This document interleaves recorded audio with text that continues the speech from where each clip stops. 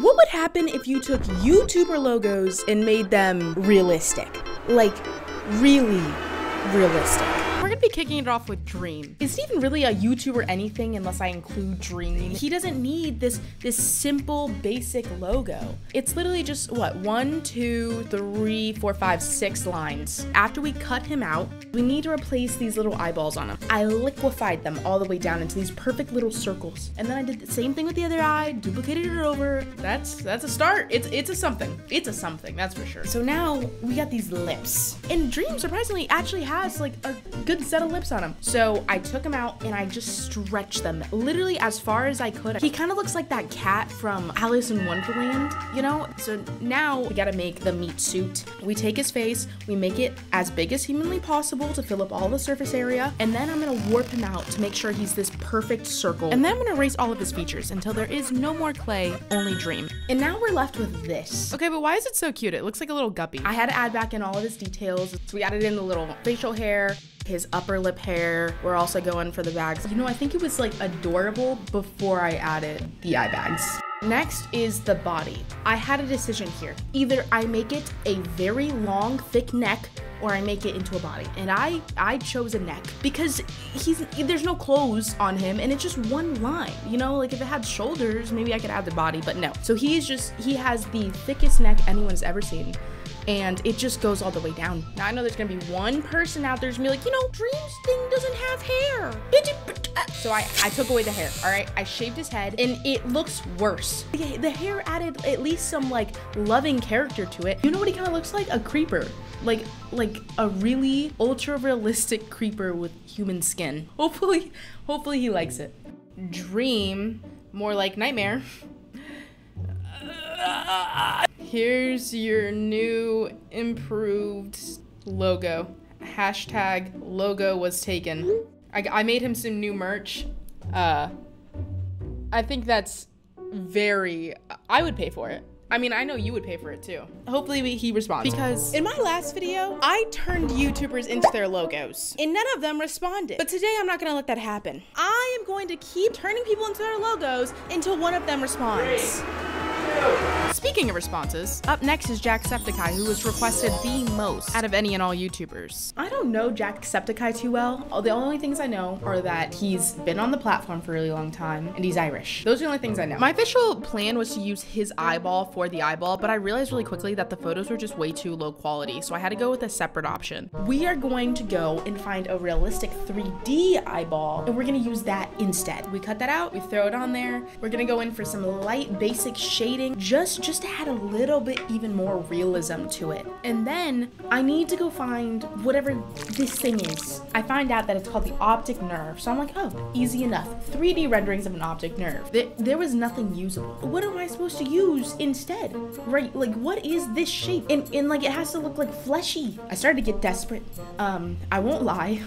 We didn't use them, thank God. I didn't have to because I had this idea that maybe if I just look up 3D human flesh, I'd find something, and I did. Uh, it was a, a tongue. I popped that bad boy on there, sized it up. Now, is this exact? No, it kind of looks like the Jacksepticeye one is like really smooth, but in my brain, that's what an optic nerve looks like. We shaped that into place. I had to liquefy it out, and then if we go into the blending, right? Because it, it has to look like it's literally attached to this thing. Oh my god, that boy look shit. It looks clean. It looks really nice. I hit it with a couple of like finishing details, some shading, making the iris bigger, turning it all green of course. And after that, it was just looking seamless. It was ready to go. This looks good, but it's missing something. It's kind of cute. It's kind of like one of the most adorable things I've ever seen in my entire life. I kind of want to name this logo Reginald. He looks like a Reginald. Okay, at Jacksepticeye, I made you an ultra realistic logo. Who's not gonna respond back to that? It's so cute. Look at him holding it.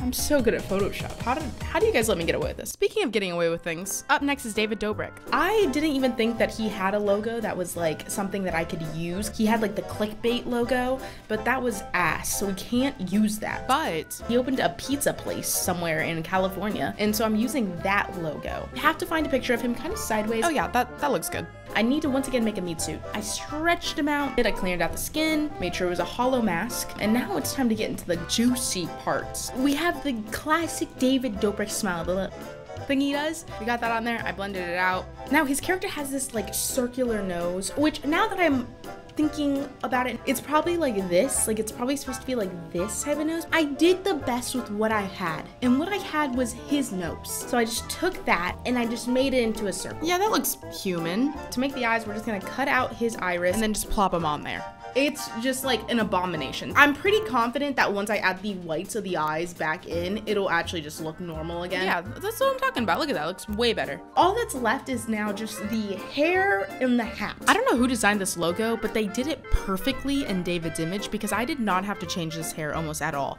It was like perfectly shaped. I'll let you use this logo royalty free if you buy me a Tesla. Hashtag Tesla lover, hashtag please use my logo, hashtag you're rich. Our next victim is Socksfor1.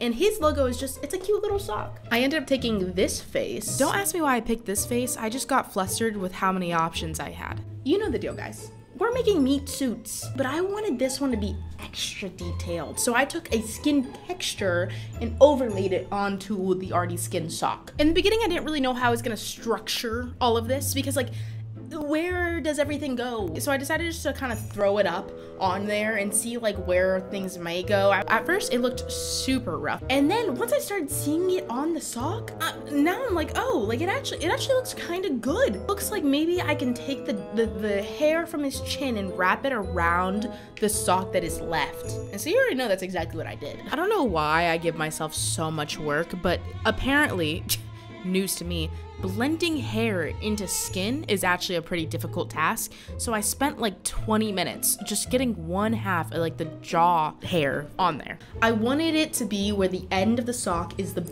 like the chin of his beard and then I'll just connect it back up to his mouth. There's something about a hairy sock that that actually frightens me to wrap this up, we made the eyes a little bit bigger. I added a little bit more details here and there, you know, the brows, the shading, the contour, a little bit of extra, you know, details. We just sprinkled them in there. And then I added a little hat on top because he wears a hat in every single thing and I just, I didn't have that full hat, so I just made the hat. I turned you into a sock. You're welcome.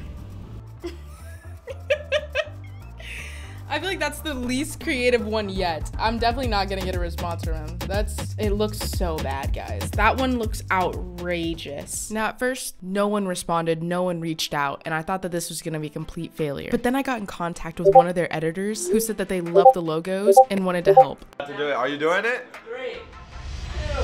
Hey, that is horrible. Oh my God. I will be making out with that later. Let me know in the comments below who you guys want to see next, and maybe click on that next video. I, I don't know. Subscribe. Bye. The beard scares me. It looks, it looks like a happy trail.